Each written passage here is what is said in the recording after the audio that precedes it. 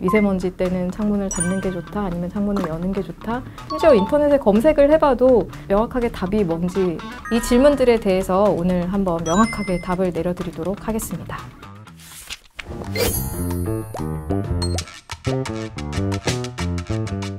안녕하세요. 구로병원 약제팀 김영래입니다.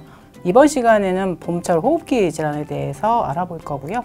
호흡기 내과 허기용 교수님과 함께 봄이면 어김없이 찾아오는 황사, 미세먼지 속에서 어떻게 하면 우리 호흡기를 지킬 수 있는지에 대해서 알아보도록 하겠습니다. 네, 안녕하세요. 구로병원 호흡기 알레르기 내과 허기영입니다.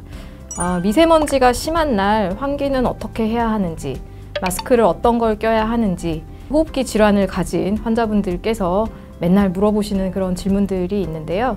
이 질문들에 대해서 오늘 한번 명확하게 답을 내려드리도록 하겠습니다. 실내 환기가 중요하다고 하는데 아무래도 봄이 오면 황사에 미세먼지 공기가 좋은 날이 드물잖아요 이럴 때 미세먼지가 그러니까 지수가 높은 날에 이럴 때 창문을 열어서 실내 환기를 시켜야 되는지 아니면 그냥 창문을 닫는 게 나은지 헷갈려 하시는 분들이 많더라고요. 이럴 때는 어떻게 하는 게 좋을까요? 네, 이 부분 많이들 헷갈려 하시고요. 그리고 심지어 인터넷에 검색을 해봐도 명확하게 답이 뭔지 미세먼지 때는 창문을 닫는 게 좋다 아니면 창문을 여는 게 좋다 여러 가지 답변들이 나와 있습니다. 어, 정답을 말씀드리자면 미세먼지가 심할 때에도 실내 환기는 반드시 하시는 것을 추천드립니다.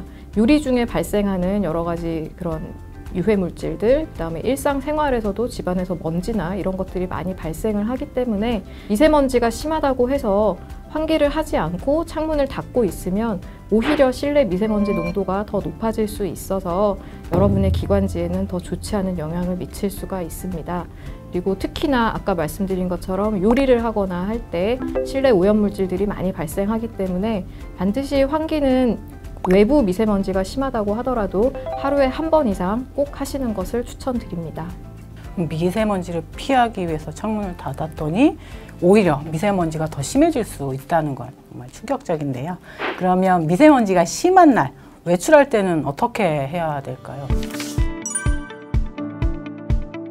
마스크가 종류가 되게 많잖아요. 뭐 덴탈 마스크, 비말 마스크, 그리고 KF80, KF94 종류가 여러 가지가 있다 보니까 어떤 걸 껴야 할지 헷갈려 하시는 분들이 되게 많습니다, 교수님. 마스크도 원래 목적에 따라서 종류가 이제 구별이 될 수가 있는데요. 일단 미세먼지 방지 목적으로는 코리아 필터 KF가 붙어 있는 식약청 인증을 받은 마스크를 추천을 드립니다.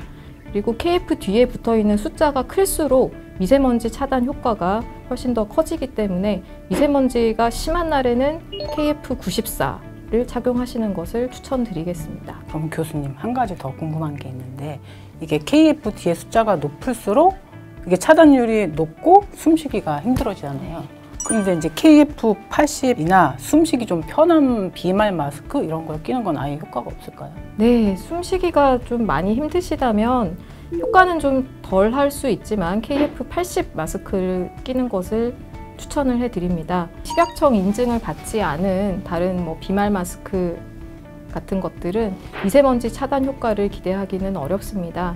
그 미세먼지는 사람 머리카락보다도 훨씬 얇기 때문에 이걸 걸러주는 필터가 필요한데요. 시중에 유통되는 비말 마스크나 덴탈 마스크들은 이런 필터가 없기 때문에 침방울이나 좀 큰 덩어리 먼지들만 막아줘서 미세먼지에 대한 효과는 별로 없다고 생각하시면 되겠습니다. 그러면 최소한 KF80 이상은 껴야 한다는 거 이런 거 잘 기억해 주셨으면 좋겠습니다. 그리고 또 봄이 오면 꽃가루 알레르기 때문에 힘들어 하시는 분들 되게 많잖아요. 그런데 이제 어떤 해는 이게 꽃가루 피해서 외출을 자제해도 증상이 심할 때가 있고 또 어떤 해는 밖에 돌아다녀도 증상이 괜찮을 때도 있고 이게 매년 해마다 차이가 날 때가 있는데 그거는 왜 그럴까요? 꽃가루 알레르기 증상은 생각보다 그 날씨의 영향을 크게 받습니다. 봄철 꽃가루는 주로 2월 말부터 한 5월 초까지 그 나무 꽃가루에 의해서 발생을 하는데요. 이러한 꽃가루, 즉 꽃가루에 알레르기 유발하는 물질, 알러젠이라고 얘기를 하는데 이런 알러젠이 공기에 날려서 흩어지는 거는 날씨, 특히 그 기온과 이산화탄소 증가에 영향을 많이 받습니다. 그 알레르기를 유발하는 그런 식물들의 성장이 촉진이 되는데요. 그래서 봄을 앞당기고 개화가 빨리 시작하게 돼서 꽃가루 농도가 높은 상태로 오랫동안 지속이 되게 됩니다. 그런데 강우량이 많아지면 공기 중에 꽃가루가 적어져서 꽃가루 농도가 낮아져서 이로 인한 알레르기 증상이 좀 줄어들 수 있습니다. 봄비가 꽃가루를 제거하는 데 도움이 된다는 거잖아요. 네, 맞습니다. 근데 이제 번개와 천둥을 동반한 그런 비는 꽃가루 농도를 더 높일 수도 있다고 되어 있어요. 천둥 번개가 이게 뻐뻥 치게 되면 가라앉아 있던 꽃가루 입자들을 날리고 깨지게 되면서 알레르기 유발 물질들이 좀 더 공기 중에 더 많이 퍼지게 돼서 그 천식이나 비염 증상들을 좀 더 나빠지게 할 수도 있다고 되어 있습니다. 이런 기상 상황에 따라서 꽃가루 농도가 변화할 수가 있고 그에 따라 이제 알레르기 증상이 다양해질 수 있다라는 점을 알아두시면 좋을 것 같습니다. 그러면 교수님 이런 알레르기 치료는 어떻게 해야 될까요? 네, 일단은 알레르기 증상은 뭐 여러 가지 장기에서 나타날 수가 있어요. 어떤 분들은 비염만 있으신 분들, 어떤 분들은 이제 비염과 결막염이 같이 있거나 뭐 따로 있으신 분들, 뭐 천식이 생기시는 분들, 여러 가지 매우 다양하게 나타날 수가 있어서 전문가의 진료를 받으시는 게 제일 중요하겠고요. 그래서 증상이 무엇이냐에 따라서 어떤 식으로 이제 치료를 할 건지가 결정이 됩니다. 그리고 그 증상이 유발되는 원인 알레르기 물질이 무엇인지를 확인하는 검사가 일단은 필요하겠고요. 알레르기 피부 반응 검사 아니면은 피 검사로 할 수 있는 마스트 검사 같은 것들 그런 것들을 통해서 네, 검사를 시행을 하실 수가 있고 그 검사 결과에 따라서 아 내가 꽃가루 알레르기가 있었구나 아니면 뭐 진먼지 진드기 알레르기가 있구나 이런 것들을 파악을 하고 증상에 따른 원인에 따른 약물 치료를 하실 수가 있겠습니다. 뭐 가장 많이 쓰이는 게 먹는 항히스타민제를 많이 쓰겠고 그 다음에 부위에 따라서 비염이 있으시면 뭐 국소 스테로이드 코에다 뿌리는 약, 그 다음에 천식이 있, 으시게 되면 천식 흡입기 네, 여러 가지 종류들을 쓰실 수가 있습니다. 국소 치료제로 방금 교수님이 말씀해 주신 그 코에 뿌리는 약, 그 눈에 넣는 결막염에 쓰는 안약, 그리고 흡입하는 약 이런 것들이 있습니다. 네, 그리고 이제 약물 치료 외에도 본인에게 알레르기 반응을 일으키는 상황에 대해서 좀 환자분들이 잘 파악하고 대처를 하시는 것도 매우 중요한데요. 이제 본인이 봄철에 꽃가루 알레르기가 굉장히 심하신 경우 그 시기에는 좀 외출을 삼가하시거나 아니면 외출 시에 마스크나 선글라스 이런 것들을 사용을 하셔서 적절하게 차단을 하시는 것도 매우 중요합니다. 마찬가지로 이제 진먼지 진드기 알레르기가 굉장히 심하신 경우에는 뭐 이불이나 베개를 자주 세탁을 하시거나 아니면 집에서 뭐 공기청정기나 헤파 필터를 사용을 하신다든지 그런 것들도 도움이 될 수 있겠습니다. 교수님, 알레르기 증상 중에 흔한 게 여기 콧물, 코막힘, 재채기 이런 것들이 있잖아요. 그러면 이 비염은 대부분 이제 알레르기 때문에 생긴 걸까요? 비염에도 여러 가지 종류가 있는데요. 뭐 흔히 알레르기성 비염이라고 얘기하는 비염이 있고, 그다음에 비알레르기성 비염도 있습니다. 뭐 비염이라고 해서 전부 다 알레르기성은 아니고 비염 증상이 있으면서 아까 앞에서 말씀드린 알레르기 검사, 뭐 피부 반응 검사나 마스트 검사에서 원인 알러젠이 있는 걸로 확인이 된 경우에 이제 알레르기성 비염이다라고 이제 진단을 할 수가 있게 됩니다.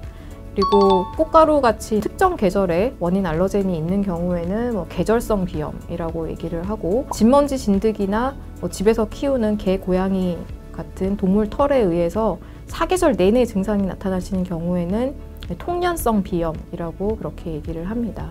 그러면 뜨겁거나 매운 음식 먹을 때 막 갑자기 격렬한 운동할 때그 맑은 콧물이 막 주룩주룩 날 때가 있거든요. 이거는 어디에 해당하는 거예요? 네, 방금 말씀하신 것처럼 특정 식사를 하시거나 뜨거운 거 드시거나 할 때 맑은 콧물이 줄줄 흐른다시는 분들도 많이 계시는데 그거는 이제 혈관 운동성 비염이라고 하고요. 큰 범주에서 보면 증상 자체는 이제 일반적인 비염 증상과 같지만 알레르기 검사에서 특정 알러젠이 확인되지 않는 비알레르기성 비염이라고 따로 구별을 하고 있습니다. 그러면 교수님, 그 알레르기 비염은 완치가 어렵다고 하는데 그게 정말일까요? 네, 알레르기 비염은 관리하는 병이다라고 저는 환자분들한테 그렇게 설명을 드리는데요. 네, 증상 조절을 위해서 항히스타민제나 뭐 항류코트리엔제, 뭐 코에 뿌리는 비강내 스테로이드제 등 여러 가지 약물을 조합해서 약물 치료를 일단 먼저 시작을 하게 됩니다. 근데 이제 이 약물 치료를 하면서도 별로 효과가 그렇게 만족스럽지 않거나 뭐 코막힘이나 뭐 콧물 같은 그런 증상들이 계속 지속되시는 경우가 있는데요. 확실한 원인 알레르기가 확인된 경우에는 이제 알레르기 면역 치료라는 것을 추가적으로 해 볼 수가 있습니다. 이거는 이제 원인 알레르기 물질에 대한 근본적인 치료 방법인데요. 크게 두 가지로 나뉘는데 면역 치료를 하는 방법이 어, 매달 피하 주사를 맞아서 알레르기 물질을 투약하는 방법, 혹은 집에서 매일매일 설하로 혀 밑으로 약을 투약하는 방법이 있는데 원인 알러젠이 어떤 것이냐에 따라서 어떤 투여 방법을 해야 되는지 그것도 그 종류별로 달라질 수 있기 때문에 전문가와 상의를 하셔서 그 치료 여부와 그다음에 치료 방법 이런 것들을 결정을 하셔야 되겠습니다. 근데 이제 알레르기 면역 치료는 일단은 오랫동안 유지를 해야 되는 그런 치료 방법이고 치료 기간은 최소한 3년 이상 권고를 하고 있어서 다니시는 병원의 전문의와 상의를 하셔서 면역 치료를 할지 여부를 결정을 하시는 것이 좋겠습니다. 네. 오늘은 봄철 호흡기 질환으로부터 내 몸을 지키는 방법에 대해서 알아봤는데요. 미세먼지 수치가 좋지 않아도 창문을 열어서 환기 해 주시고 외출 시에는 마스크 꼭 착용해 주셨으면 좋겠습니다. 그리고 약은 처방 받으신 대로 꼭 복용하셔야 된다는 거 잊지 마시기 바랍니다. 네, 특히 알레르기 때문에 매년 봄에 고생하고 계신다면 원인 알레르기 물질을 확인하기 위한 알레르기 검사도 받아보시고 전문의와 상담을 통해서 적절한 치료를 받으시면 좋겠습니다. 네, 시청해주셔서 감사합니다.